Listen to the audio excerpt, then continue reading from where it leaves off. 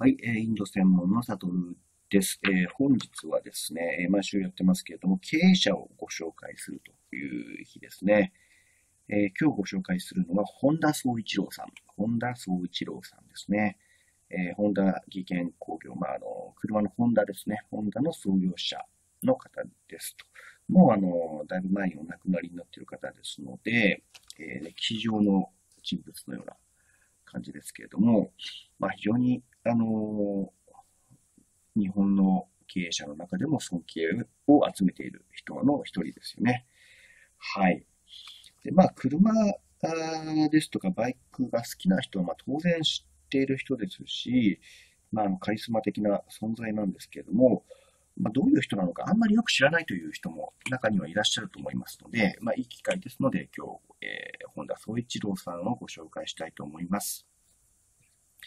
はい、えー、本田宗一郎さんはですね、1906年11月17日生まれと、えー、静岡県の、えー、岩田郡光明村っていうんですかね、現在の静岡県浜松市なんですけれども、えー、そこでお生まれになりました。えー、学歴はですね、えー、二俣尋常高等小学校卒業ということで、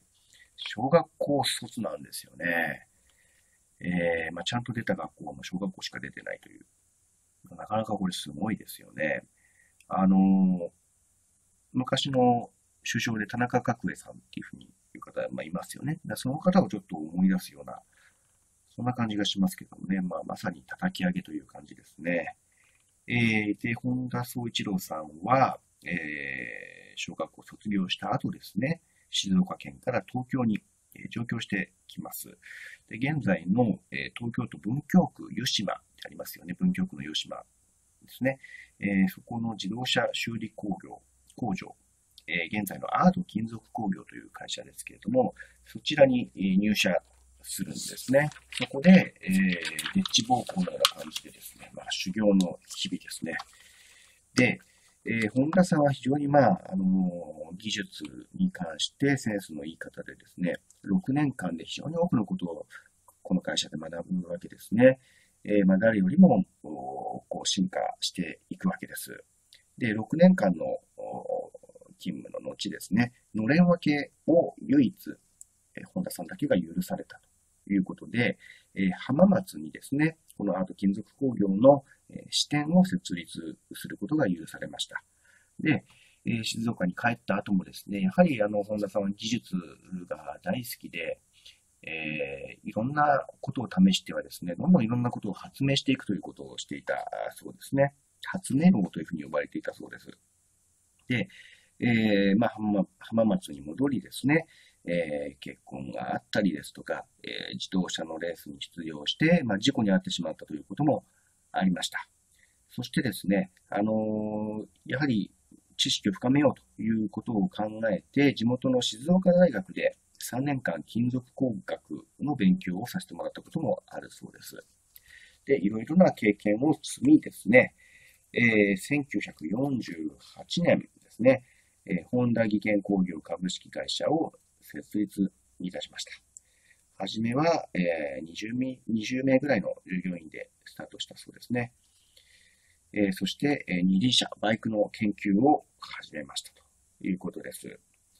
でですね、えー、翌年ですね、設立した翌年に、えー、後に、えー、ホンダの副社長となる藤沢武夫さん、まあ、これはまあ、えー、ホンダさんと名コンビなんですけれども、藤沢武夫さんと出会いですね、え、共に、え、協力しながらですね、ホンダを世界的な大企業に育てていったということですね。で、まあ、あのー、一代でここまで大きい会社を作ったっていうのは本当にあの、偉大なことであり、誰でもできることではないので、もうすごいとしか言いようがないわけですよね。でですね、まあ、あのホンダという会社、すごいっていうのは皆さんご存知だと思うんですが、一つ事例をご紹介しますと、バイクでですね、スーパーカブって、あの、聞いたことあると思うんですよね。白い、まあ、白いっていうか、あの、バイクで、えー、スーパーカブっていうのがあるんですけれども、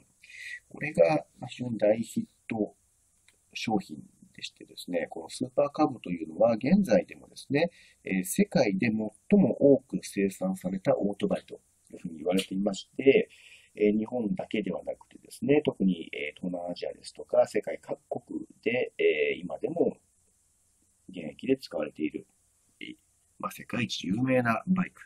えこのバイクを生み出したのが、えホンダということですね。で、あの、えー、まあ、ホンダは発祥は静岡県ということになるわけなんですけれども、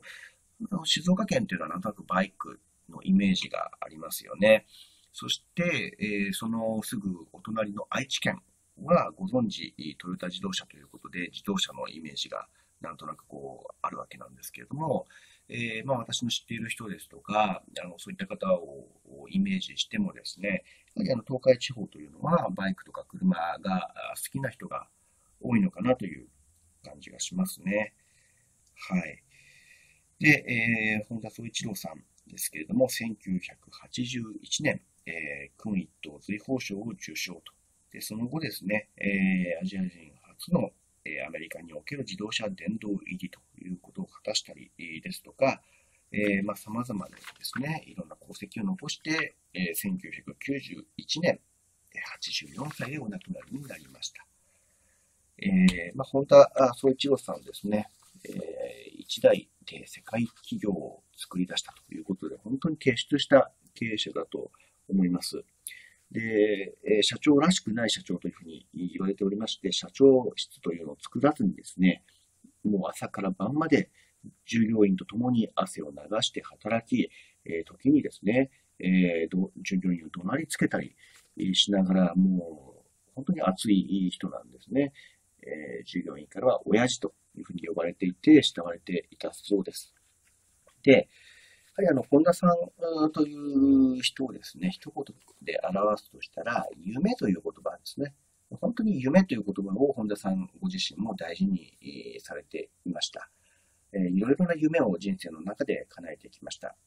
えー、オートバイのレースですね、えー、満島というところで行われたオートバイのレースで、えー、優勝したりですとか、あとは F1 のグランプリのレースに出場して、ホンダ車が世界一になったりですとか、そういったこともですね、初めはもう全然非現実的だと言われていた状況から、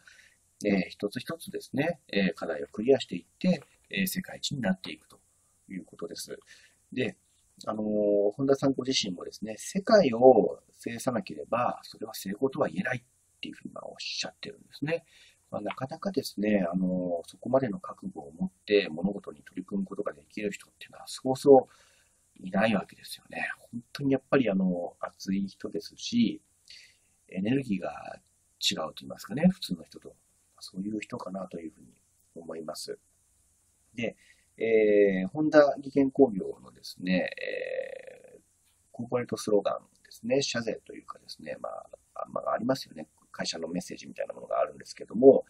えー、The Power of Dreams という言葉。これ今でもあの、ホンダのホームページに見ればですね、載ってます。The Power of Dreams。夢の力ってことですよね。で夢を持つことで、まあ、人は力を持つことができる。まあ、そういうことですよね。えー、まあ、ホンダという会社、今でもですね、ホンダ総一郎さんの、そういった熱い魂を受け継ぐ夢大きい若者がですね、毎年入社して、夢をホンダという会社の中で実現をしているということですね。で、あの、まあ、ウィキペディアから始まってですね、YouTube でですとか、いろんなあのネット上の記事ですとか、ホームページですとか見てですね、えー、本田宗一郎さんの人生を学ばせて、えー、もらいました。本当に熱い人ということで、